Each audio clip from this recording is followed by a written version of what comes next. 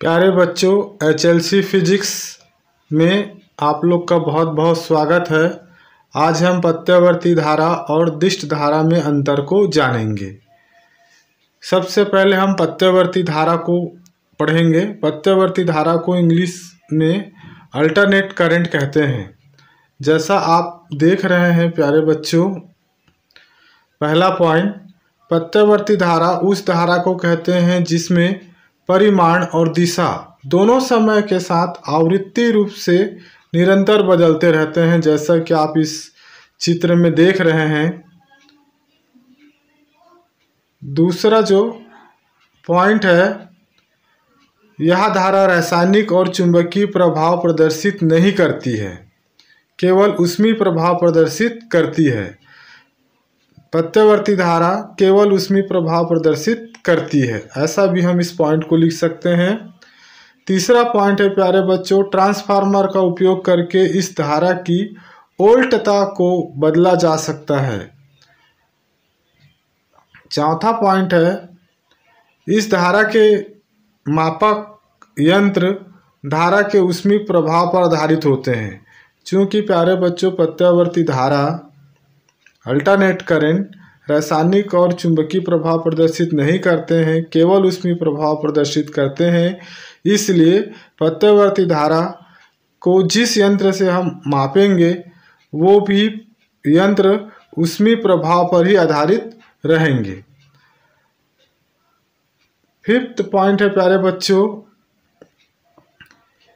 विद्युत चुंबक बनाने के लिए इस धारा का उपयोग नहीं किया जा सकता। प्रत्यावर्ती धारा का उपयोग करके हम विद्युत चुंबक का निर्माण नहीं कर सकते हैं। और प्रत्यावर्ती धारा का सिंबल इस तरह होता है, देखिए यहाँ पर एक गोला सा करके उनके बीच पर ऐसा सिंबल लगा देंगे तो इस तरह के संकेत को हम प्रत्यावर्ती धारा का संकेत कहते हैं। अब हम दिष्ट धारा का अध्ययन करेंगे। दिष्ट धारा को इंग्लिश में डायरेक्ट करंट कहते हैं।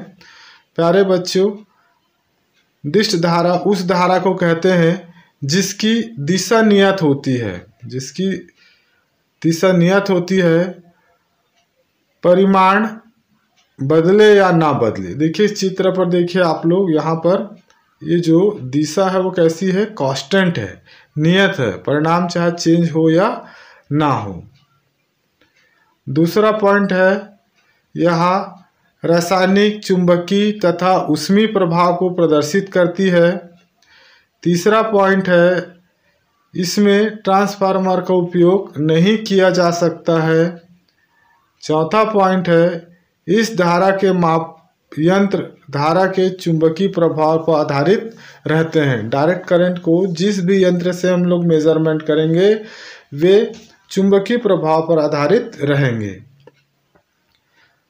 फिफ्थ पॉइंट है, प्यारे बच्चों, कि हम जो है दिश धारा का उपयोग करके विद्युत चुंबक बनाने में इसका उपयोग किया जा सकता है। दिश धारा का उपयोग विद्युत चुंबक, यानी इलेक्ट्रिक मैग्नेट बनाने में उपयोग किया जा सकता है।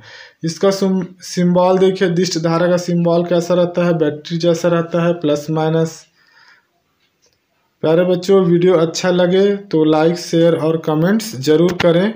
धन्यवाद।